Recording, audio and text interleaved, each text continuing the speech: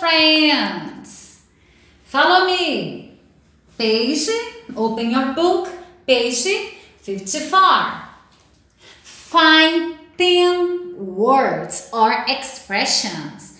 Então você vai encontrar 10 palavrinhas ou expressões.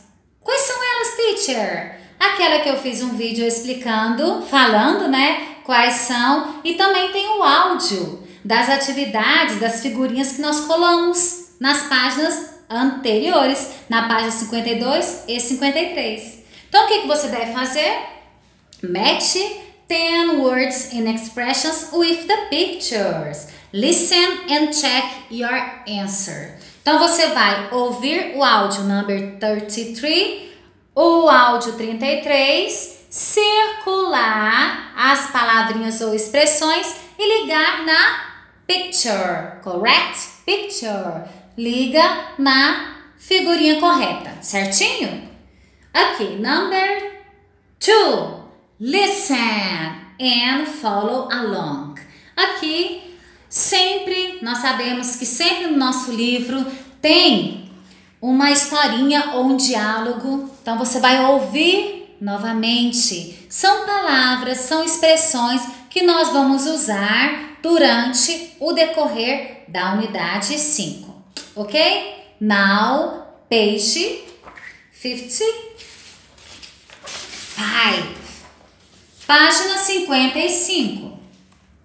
Look and number the sentences. Very easy, terceiro ano. Look and number. Olha as imagens e você vai enumerar de acordo com o que está escrito no quadro acima. O que, que vai trabalhar, teacher? Vai trabalhar os verbos com o finalzinho ing no present continuous e o vocabulário novo, que vai ter bedroom, studying, classroom, ok?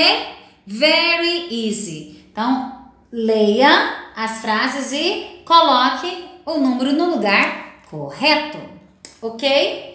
Number four, say the actions. Aqui, mais uma vez, nós vamos tratar dos verbs, present continuous, os verbos que estão no presente contínuo, ok? O presente contínuo sempre demonstra que ele está acontecendo naquele momento, falando, correndo, comendo, andando. Very easy. Bem facinho. Nós vamos mudar o final do verbo. Olha aqui, meus amores. Write sentences. Escreva frases. Number one, de acordo com cada figurinha. Number one, he's reading. Ele está lendo. Number two, they are swimming. Olha aqui, swimming. Number three, She's eating. Eating, comendo. Number four, they're jumping. Eles estão pulando. Então aqui é só para lembrar o verbo correndo, comendo, pulando, saltando.